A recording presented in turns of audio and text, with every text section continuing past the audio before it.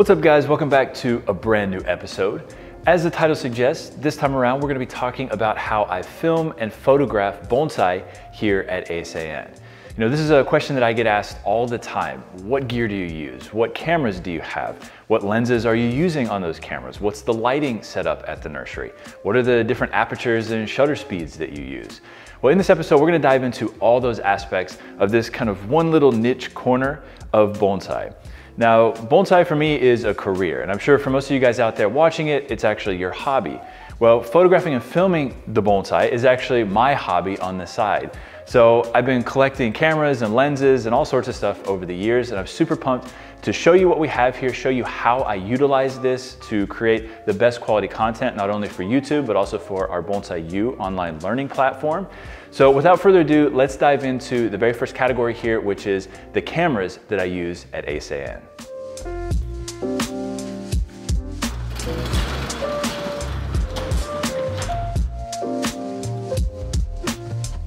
All right, so I think the best place to start here is at the very beginning of my journey into filming and creating content specifically for YouTube. So all the way back in 2011, I was living in Japan as a bonsai apprentice at Fujikawa Kokaen in Osaka. At that time, there really wasn't a lot of content on YouTube around the art of bonsai. So one of my favorite channels to watch at that time though that was around this subject was Lindsay Farr's World of Bonsai. If you guys haven't checked that out, I believe it's still up on the platform, so definitely go see those videos.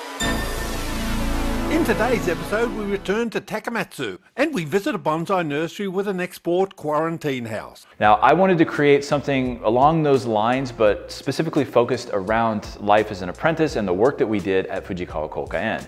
So I bought a cheap little, I think $100 Panasonic video camera from Amazon and we started filming that series. Now, if you go back and look at the quality of that content, is pretty bad. I mean, come on guys, look at that. Like the quality of the actual filming, not great. The way it's edited is sort of like a guerrilla style, I guess, if you will. And the sound of my voice makes me cringe every time I listen to it. In episode 1, we will take a tour through Fujikawa Kokaen Nursery, located in Ikeda City, just north of Osaka, Japan. So I definitely have gone through puberty, obviously, since then, which is why my voice is a little bit lower at this point. But in any case, you know, looking back on those videos, I know a lot of people out there really enjoy that content, which is why I've left it up on the platform.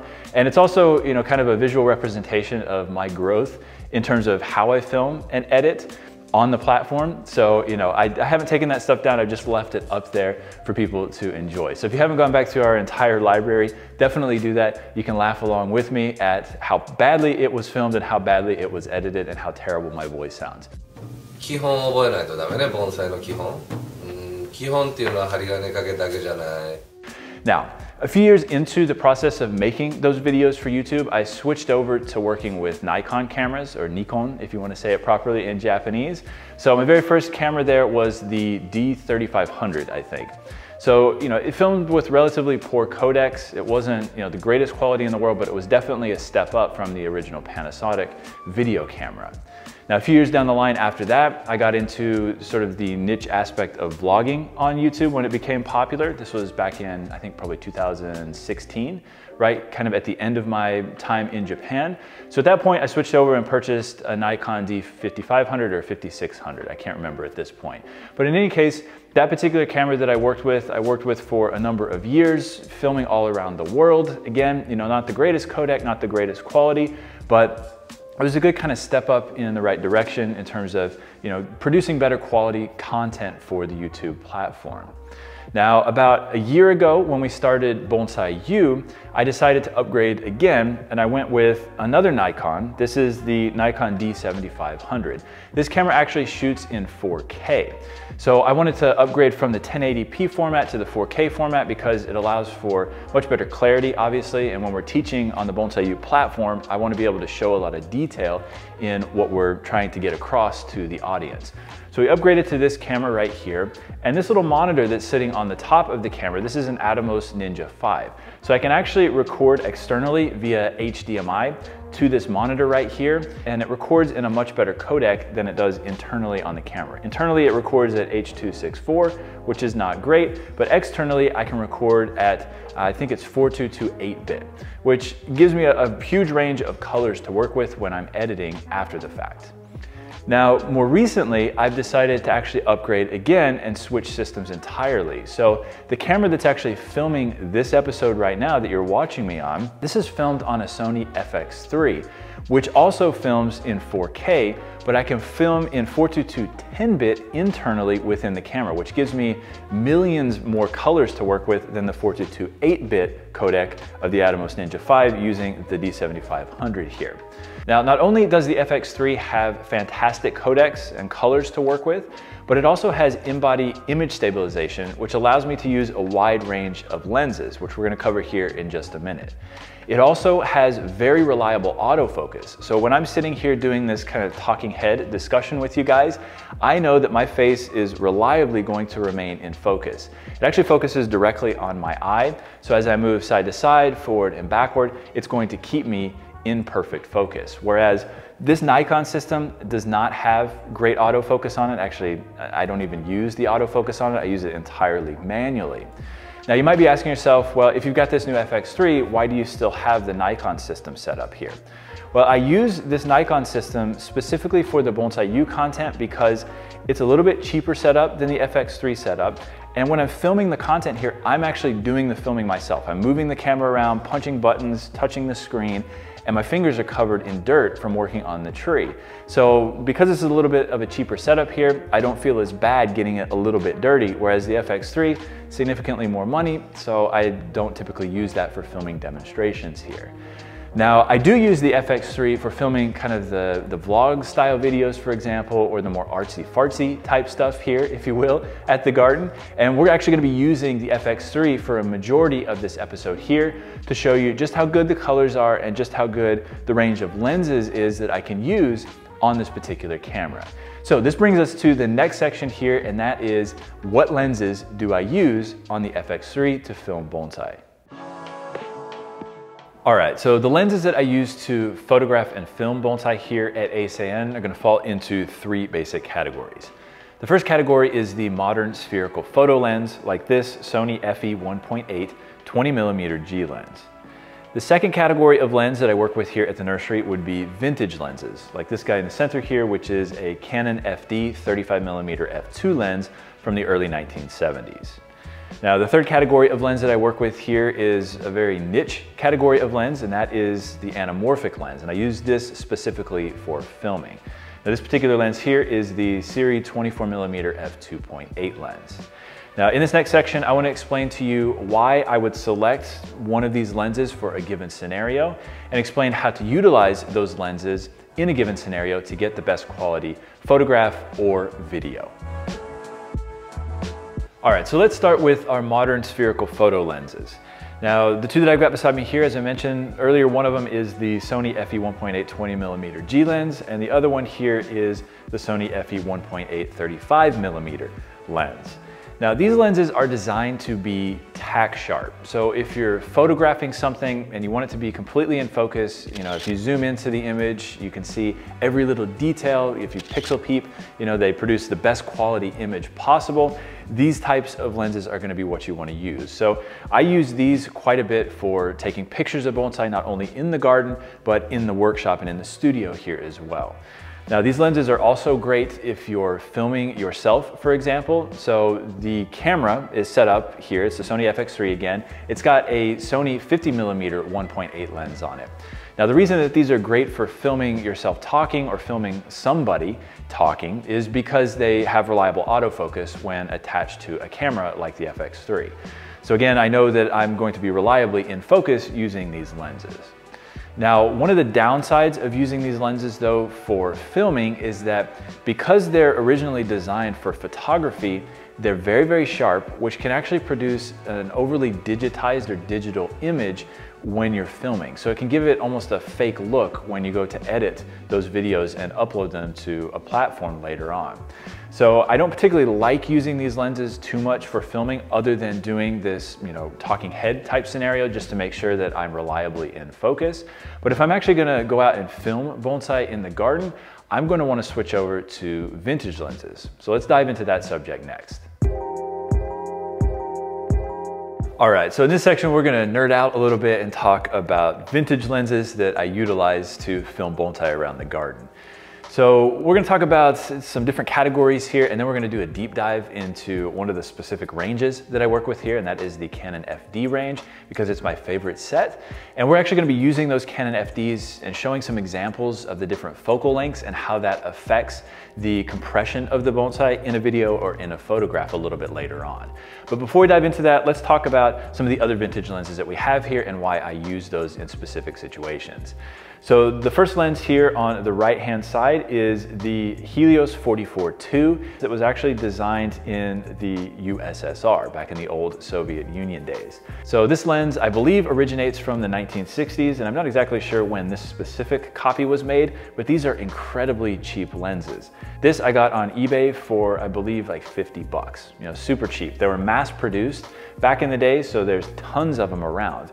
But what makes this an interesting lens is that when you film in a given scenario, it can often create kind of a swirly bokeh, which is that out of focus area in the background and give you a really interesting and unique look when you're filming a bonsai or filming any subject for that matter.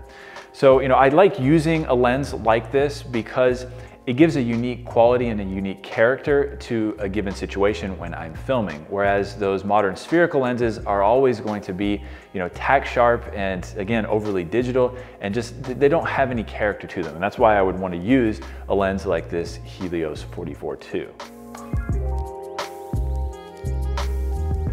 Now the second lens here that I've got in the middle, this is a super multi-coated Takumar lens. It's a 35 millimeter lens produced in Japan, uh, an f2 lens.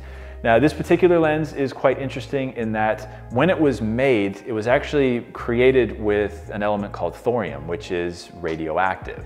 So the glass elements within the lens have that thorium mixed in there. And over time, the lens actually becomes a bit yellowed. So when you're filming certain scenarios, it can give kind of a yellow hue to the video, which can sometimes be a little bit of an issue, but if you're filming at certain times of the day, like at golden hour in the early morning or later in the afternoon, this lens can actually bring out those orangey colors even more and give you a really interesting and unique look.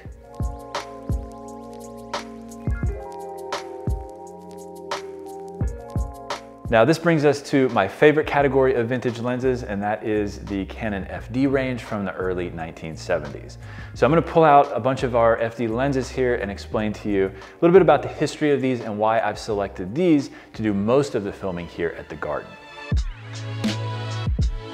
So it's pretty obvious that I've gotten a little bit carried away with collecting these Canon FD lenses, but there's a very good reason for that and we're gonna get into that here. Now, these particular lenses were all produced in the early 1970s in Japan. And at that specific time, Canon was essentially entirely focused on film photography, both cameras and lenses, and these were obviously designed for that purpose. Now, in the mid 1970s, Canon decided that they wanted to get into cinematography lenses. So they actually utilized the design from these Canon FD lenses from the early 70s to produce a new range of cinema lenses called the K35 lenses. So these Canon K35 lenses have been used on major productions like Aliens, for example, and Stanley Kubrick as well was also a big fan of those K35 lenses. So it's pretty cool that you can actually get access to the predecessor to those crazy expensive K35 lenses in these Canon FD lenses. I mean, some of these lenses are like 50, 60 bucks. It's crazy, and you can get them on eBay. I'll actually put some links down in the description so you can hop over there and check these guys out if you're interested in purchasing some of them. Now, the reason that I like these lenses so much is for multiple reasons. Number one, they provide a really interesting and unique look to the image when I'm filming on the FX3. They've got great fall off, they've got fantastic bokeh, or again, those out of focus areas, and when you stop them down a little bit, they become relatively sharp. So even though they're old lenses, they actually can produce a really beautiful sharp image, but one that's not overly digital like the modern spherical lenses. Now, the reason that I have this wide range here of lenses is because I wanted to have multiple focal lengths. These are all prime lenses, meaning that they don't zoom in or out, it's a fixed focal length. So I wanted to make sure that we had a range of focal lengths here to utilize in different scenarios. And a little bit later in this episode, we're gonna talk about why I use a specific focal length for a given situation. Now, before we do that though, let's take a look at the last category of lens that I work with, and that is the anamorphic lenses. And the final category of lens that I work with here at Eisei-en is of course the anamorphic lens. Now this specific lens right here is the Sirui 24mm f2.8. Now the interesting thing about anamorphic lenses is that when you film something with them, it takes the image and compresses it. So when you look at the image, all you see are these really tall, skinny people or tall, skinny trees. Everything looks overly squished together. Now, when you put this in your post-production software and de-squeeze it, it stretches that image back out and gives you an interesting aspect ratio with those black bars at the top and the bottom, and you get just a really unique looking image. Now the anamorphic lens will also create an oval bokeh in the background, so you get an interesting separation from the foreground to the background, and it will also produce these horizontal blue lines.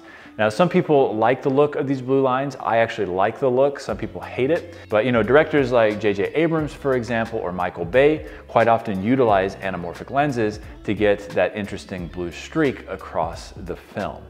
Now, I only use the anamorphic lenses in very specific situations when I'm trying to create kind of an artsy atmosphere, for example, or I really want to you know, focus on backlighting and have those blue lines across the screen. But I would never really use this lens for photography. It's really designed specifically for video.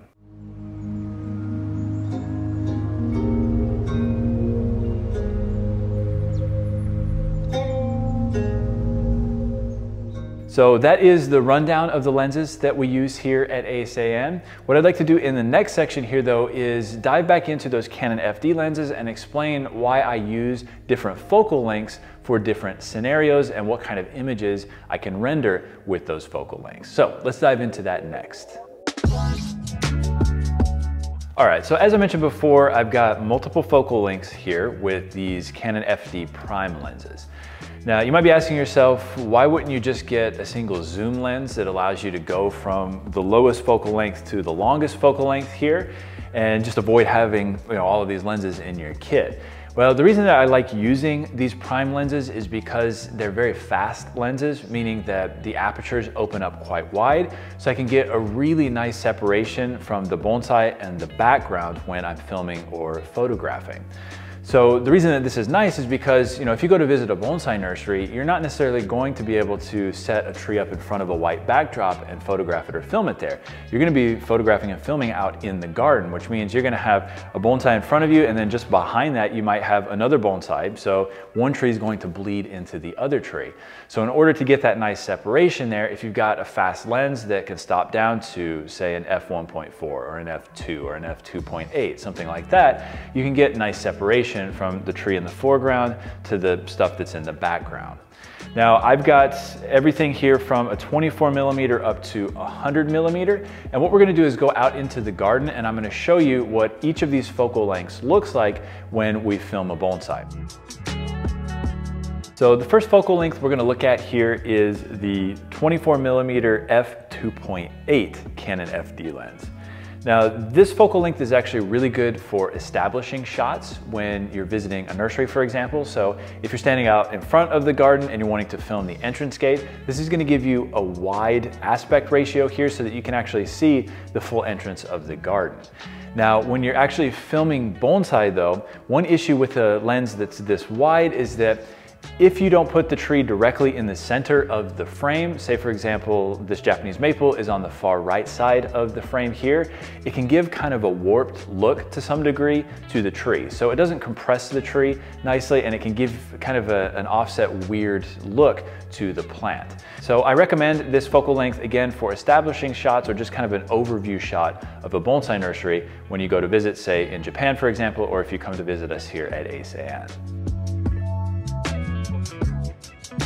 Now the second focal length that I would recommend would be the 35 millimeter. And the one that I have here is the Canon FD 35 f2. So again, relatively fast lens.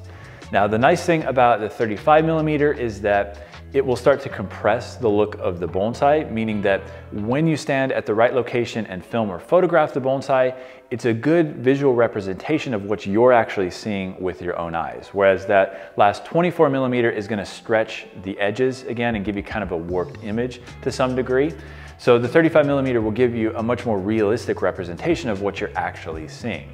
The other benefit of the 35 millimeter is that you don't have to stand really far away from the bonsai to get the entire tree in frame. Whereas if we bump up to the next level here, which is the 50 millimeter, which is a very common lens to utilize, that lens is also gonna compress the tree, but you're gonna have to stand significantly further away to photograph or film the tree. So if you have, you know, a big open area like at Eisei-en here, it's a pretty large nursery, so you're able to stand relatively far away from the plant and get a good image. But if you visit a garden in Japan, if you guys have ever been to Japan, you'll know it's a small country, there's not that much land available, and when you visit a bonsai nursery, it's quite small and compressed, and you don't really have much room to stand back from a tree to photograph or film it. So getting to that 50 millimeter focal length is gonna potentially cause some problems when you visit a nursery in Japan.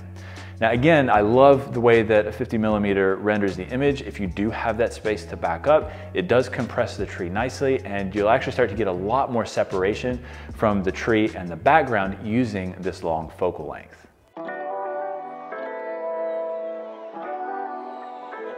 Now the final focal length that I want to talk about here is this 100 millimeter f2.8 lens. Now, again, you know, when you're getting up to these sort of telephoto length, it's gonna be more and more difficult when you're visiting a bonsai nursery to use something like this and get a good shot because again, you're running out of space. You don't have that ability to back up, particularly in Japan. Now that being said, this particular length right here does compress the tree nicely and it'll give you really good separation from the tree and the backdrop when you're photographing or filming it. So if you do have the opportunity or the space to back up, this is a great lens to utilize and you can get some really interesting artsy looking photos and video by filming through other trees, like through the branches, for example, or utilizing you know, a curvature in the trunk to frame a bonsai that's in the backdrop. So I do like using this lens for certain situations, but it's not going to be the best in all scenarios. Now, if I had to recommend one focal length to choose and utilize, I would say that the 35 millimeter is going to be your best bet. It's gonna give you kind of the best of both worlds. You're not gonna have to back up too far from the tree. It's gonna give you good compression of the plant and good separation of the bonsai from the backdrop. So this 35 millimeter f2 lens that I have here is really my go-to lens when I'm filming around the garden. As a matter of fact, this lens, just to nerd out a little bit here, this is what is a Canon FD 35 millimeter f2 concave lens, meaning that the glass element at the end of the lens is actually concave rather than convex. And it's also what's referred to as a chrome nose, meaning that it's one of the original Canon FDs that was produced in 1971 to 1973, so very early on in the process. To me, filming with these vintage lenses adds an extra layer to the story of the subject. And in this case, obviously, it's the bonsai. So I would equate it to selecting, say for example, a brand new pot with a lot of shine to it for a bonsai versus selecting a pot that is 100 years old that has patina to it. That extra little flavor with the patina really transforms the look of the tree, adds a sense of age to the plant, and gives the tree a sense of being well established as a bonsai. So filming with these vintage lenses to me adds an extra layer to that story of the tree because these lenses are of course quite old. So let me know what you guys think. Which lens did you like the best in terms of the color and the rendering and the fall off? Love to know your thoughts. Okay, so now that we've gone through all of the lenses here and I've shown you how we film and photograph here at the nursery, I wanna show you our lighting setup in the studio here and show you how we actually film our Bonsai U episodes so that you can get kind of a behind the scenes look at how the production actually works.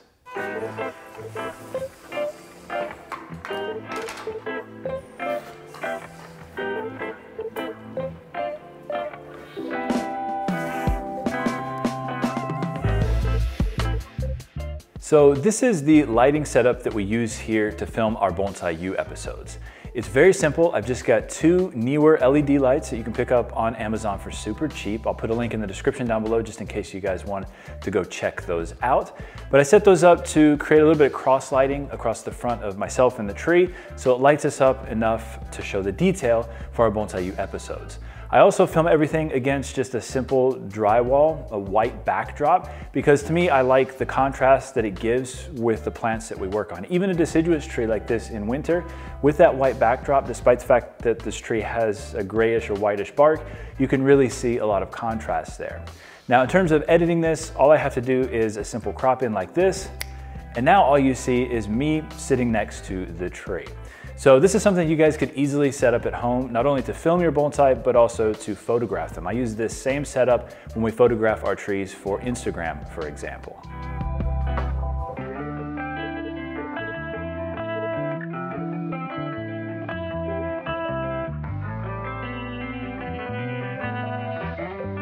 All right, so I hope you guys enjoyed this behind the scenes look at how we produce our videos and content here at Eisei-en. And I also hope that you can take some of this information regarding cameras, codecs, lenses, focal lengths, and apertures, and photograph and film bonsai on your own. You know, it's always great to do before and after shots of your trees, both in photo and video format, so that you have a record as you build out your plants throughout the years. So hopefully you can take some of this information, apply it to your practices at home, and create better content, if not for the public, at least for yourself. So thank you guys so much for checking out this episode. I look forward to seeing all of you guys next time around. But until then, take care.